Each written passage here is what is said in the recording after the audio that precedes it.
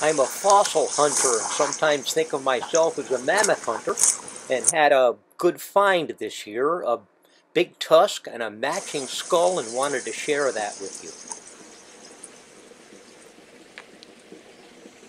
So here's the tusk. It fell out of the frozen ice and landed in the creek. You can see I'm still wet. I'm getting it out of the creek bottom, trying to move it. It's 200 pounds. I hunt all over the interior rivers, and this is an area that looks promising. A frozen, silty cliff. I'm traveling long distances and uh, cover basically the whole interior of Alaska. So I got lucky, and in the same area where I found the tusk, I found a skull. I'm pretty sure it's the skull from the same mammoth that weighs about 400 pounds and you could see the opening spinal hole here and my whole arm can fit down in through that hole. So glaciers are receding at a faster rate, exposing more and more of the uh, Pleistocene age, about 50,000 years ago, debris. Off in the distance there is a cliff of silt that got left behind when the glacier melted. Been doing this about 40 years now, and I feel blessed to live a life that's like Indiana Jones. Here are some photographs of past finds before the days of the digital camera. And here is some of the permafrost melting. And you could see what's falling down. It's very dangerous. A lot of it is moving and shifting. And of course, the more it moves and shifts, the more I find here's an ice lens that fell down in the river. Here's an interesting series of pictures of matching tusks and an entire skull and matching tusks that I was unable to retrieve. I had to look at them, take pictures, and walk away. I should mention here, I suppose, there is a legal aspect to fossil hunting, and there are areas where I don't have the landowner's permission to leave the land with fossils, and this area happens to be in a park. In Alaska, the landowner has to have mineral rights, and that's what fossils fall under. And so this includes uh, Indian land, mining claims, old homesteads, and other types of land like this, but for sure not a federal park. In Alaska, it's arguable whether the state or the federal government controls the waterways. So a tusk like this that's sitting in the water is um, potentially salvageable. It's best to know exactly whose land you're on, and a lot of this remote land is not marked, so one of the abilities a person has to have, which takes many, many years, is to know the river, know who owns what land, and to get that permission that's required.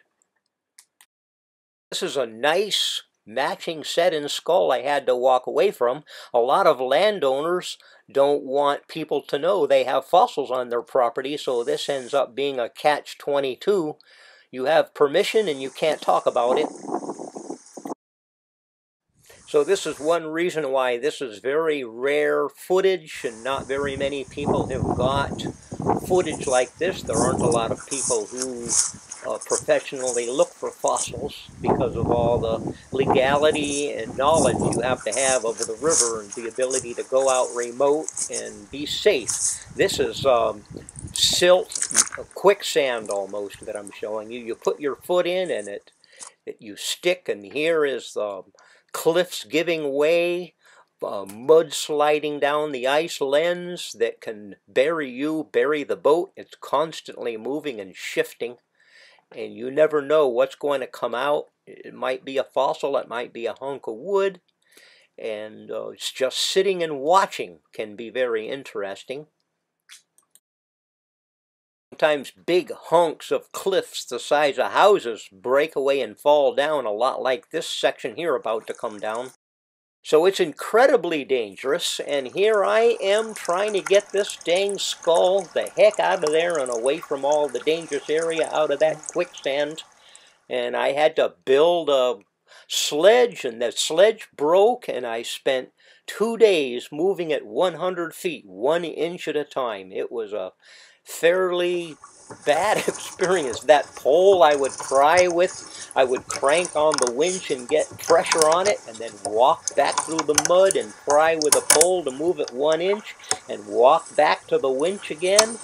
And two days going back and forth in the mud and the danger, trying to get this 400 pound skull out.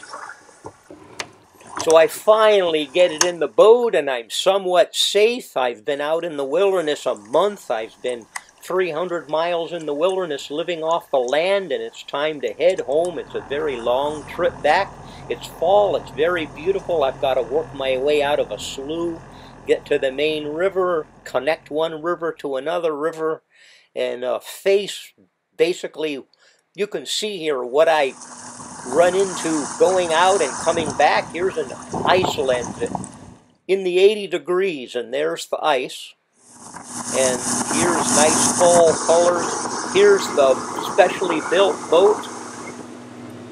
Running 115 horses on a boat rated for a 40 horse. It's not safe, but I can travel over a thousand miles without having to buy gas. And here, 30 miles an hour doesn't sound very fast, but look at these log jams and the speed I have to go by them without running into any logs. Floodwaters followed by fast water drop is what I'm looking for when I'm fossil hunting because this exposes a lot of fossils that washed out of the ice during high water. Here the quick water drop shows this is all silt. The water dropped at least five feet in three days. I've been living subsistence off the land for three weeks. I haven't seen another boat. I finally get to Nenana and I'm dropping my fossils off at the museum so they can be put on display and shared with the rest of the world. Decide to use my four-wheeler cart to get this heavy skull up into the museum, up the wheelchair ramp using the, the four-wheeler cart. And you can see we maneuver our way in and uh, the manager of the shop is able to lift the 400 pounds. He's a football player, weightlifter. You could see he's struggling and getting it out of there. And um, the, the shop is a really good, uh, uh, it's a cultural museum, and there are uh, gifts for sale, native crafts and stuff. If you're ever in Nenana, Alaska, it's a good place to stop and visit. I've got my own artwork and my books and stuff like that for sale here in this shop. I've been bringing um, displays to the museum for a lot of years now, and these are some of the things I've brought from the past. Um, I've got pieces of tusk and bones and ribs, and all kinds of cool things. I found a few exciting things over the years. There's a big bison skull here coming up that I found one year that was killed by a saber-toothed cat that's four foot between the horns. That was pretty exciting. Here's uh, what the ivory looks like polished. And here is just old stuff, the blue ivory. Most of these fossils have to be prepared, dried properly. That's why there's clamps on some of this material. And this is the tools I use to preserve, and that's all on display showing how that's done at the museum, how to preserve fossils with little write-ups about what everything is and how to take care of it.